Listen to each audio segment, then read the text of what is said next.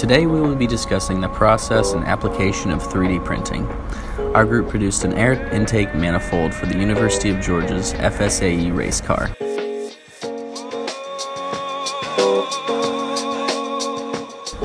Like any 3D printing project, we began with constructing a model in a 3D design program.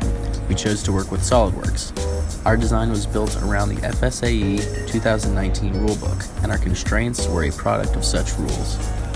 To account for lack of time and lack of funds, 3D printing was our best option when it came to producing a manifold.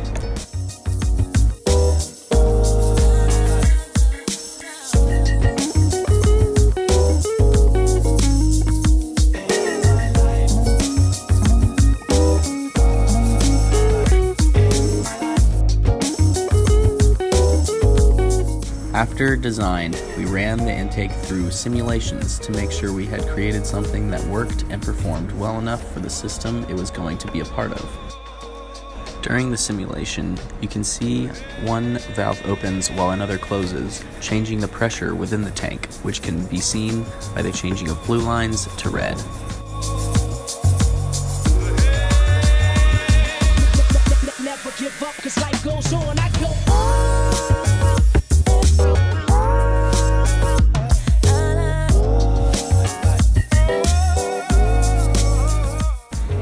As for printing, we used a PLA composite, and this took longer than more common prints due to the size of our design. First, we printed a Venturi restrictor that cylindrical angles are to ease airflow into the plenum restrictor, which we printed next. The second restrictor is sized so it can allow a volume of about 7 liters.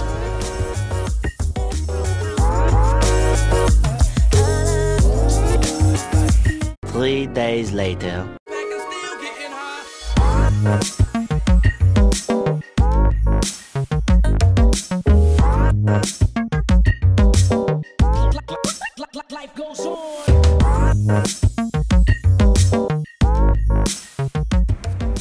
begin finishing, we remove the support structures within and around the printed parts to create a smooth surface within the restrictor.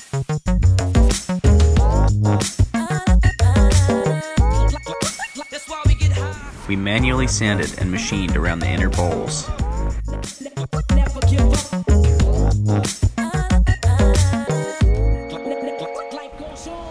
We also heat treated the print to smooth the surface for better airflow.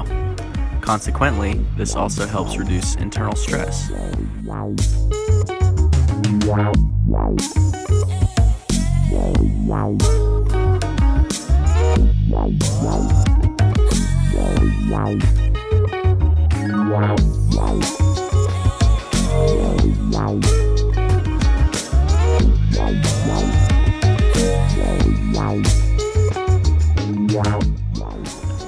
Applying epoxy is one of the last steps before assembly.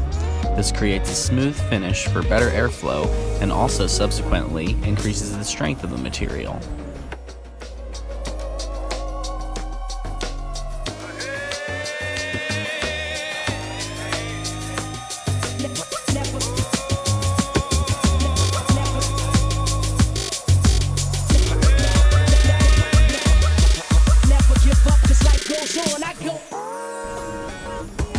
We ran tests to check for air leaks. Initially, we tested with a pressure of 20 psi, and we experienced air leaks at the gasket junction.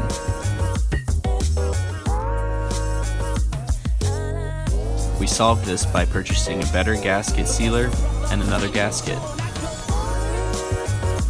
In the next vacuum tests, we managed to get a mass flow rate of about 0.032 kilograms per second per vacuum hose, so about 0.064 kilograms per second through the entire restrictor.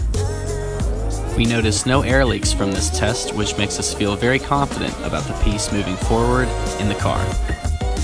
Finally, we assembled the pieces with a gasket, gasket sealant, nuts, and bolts. The result was quite satisfying. A couple things we learned. We need to eliminate sharp corners and create fillets to reduce stress concentrations. 3D parts could be made with pre-designed holes to lessen risks of leaks from drilling. Moving forward, we should give the parts some heat shielding, but this depends on the part's position on the car, relative to the engine. We also need to provide a larger region for the assembly holes to prevent cracking. Hopefully these adjustments will lead to a successful built car for FSAE. Thanks again for watching.